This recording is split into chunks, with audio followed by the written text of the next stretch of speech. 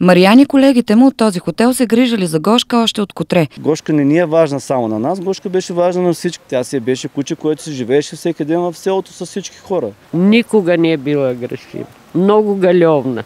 Преди няколко дни в селото обаче тръгва малва, че местен ловец се заканил, че ще я застреля. Съвпадение или не, няколко нощи по-късно в центъра на селото се чуват изстрели от пушка, а на сутринта откриват локва с кръв. Гледах телевизия, в един момент слушам страхотен изстрел. Никога не съм чувала в живота такъв изстрел.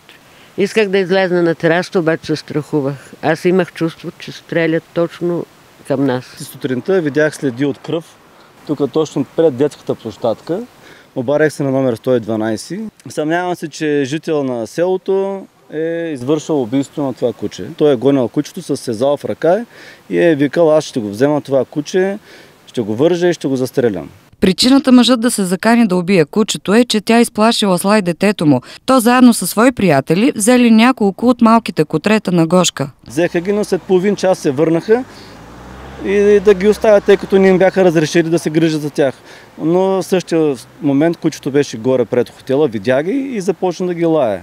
Но само да ги лая, тя никога не ги е нападала, никога. тя просто искаше да ги изгони от място, където бяха нейните малки. И от този ден нататък кучето започна винаги да ги, където и да ги види, винаги ги лаеше. И аз не мисля, че начина за решаване на този проблем е да вземеш пушката и да застреляш кучето пред детската площадка. Има си институции, които се занимават с това. Трупът на Гошка така и не е открит до момента, което на практика означава, че убийство няма, а само съмнение за убийство, по което работи полицията.